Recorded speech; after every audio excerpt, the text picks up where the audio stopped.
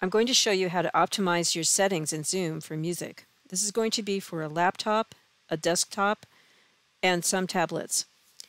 Settings on phones are different, and I can't tell you much about them. Generally, you get better quality on a laptop, a desktop, or a higher quality tablet. If you're in a Zoom meeting, you'll see a window like this. If you have your webcam off, like I do here, you'll see your display name in the center. Of course, if you have your webcam on, you'll be seeing faces and such. What you want to do to optimize your settings is to go down to this mute button here and cl left click on the small arrow that's to the right of it. This will bring up a pop-up menu where you want to click on audio settings. That brings up this window. And in this window, you want to be in the audio tab. There are various tabs, general settings, video, and you want to be in the audio tab. And here what you want to do is change the settings for music. Now, the default settings typically look like this. The automatically adjust microphone volume will be checked, and Zoom optimized audio will be checked. These settings are the default because they are best for voice, for the typical kind of meetings that people have, business, talking to family, and such. But for music, these settings are actually quite bad. So what you're going to want to do is first of all go down here and click on original sound for musicians. This will make the sound sound much better because the noise cancellation that's optimized for voice that you get with the Zoom optimized audio will tend to remove a lot of the sound of the music. It just gets misinterpreted as noise and it will make the music sound terrible. So this setting is much better. The next thing you want to do is uncheck automatically adjust microphone volume. That's because that setting is a, is another form of noise cancellation that will clip out anything that's lower volume because it's interpreted as background noise.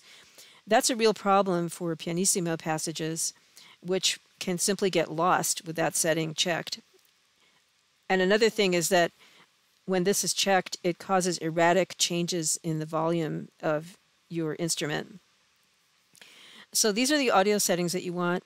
If you happen to want to use an external microphone, which can be a good idea because many computers do not have high quality built-in microphones that are optimal for music.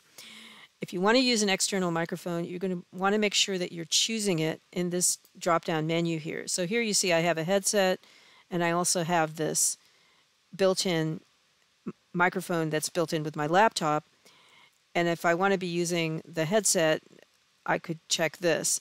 But generally, the kind of external microphone that you're going to want to use would be a USB microphone that's good for music.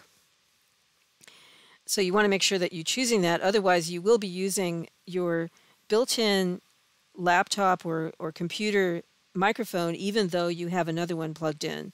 So just remember that you're making the right choice on microphone. Same thing with speakers. If you happen to have external speakers, you want to choose the, the right speakers there.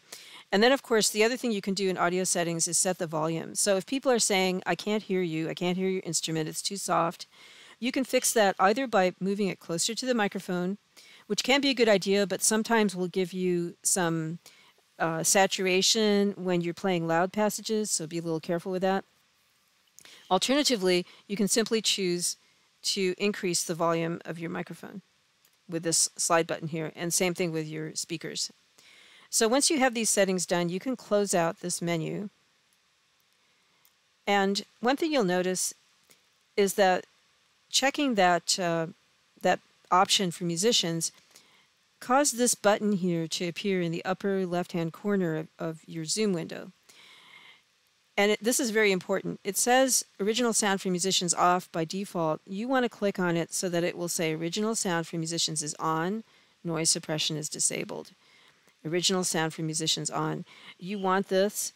The noise suppression being disabled, again, is a good thing because the noise suppression will actually cut out a lot of the sounds and harmonics and, and depths of sound of your instrument and make it sound quite bad. So at this point, you have the optimal settings for music and you're all ready to go. And I hope you have a good music meeting. one thing you need to notice is that if you're going to go back and use Zoom again for a regular sort of video conference where, where it's voice rather than music, make sure that you reverse these settings and turn them back into the ones optimal for voice. Otherwise, everybody in your, your video conference will complain again that the sound isn't good. So keep that in mind. So I hope you have an excellent music meeting. Enjoy playing your instrument. Thank you for listening.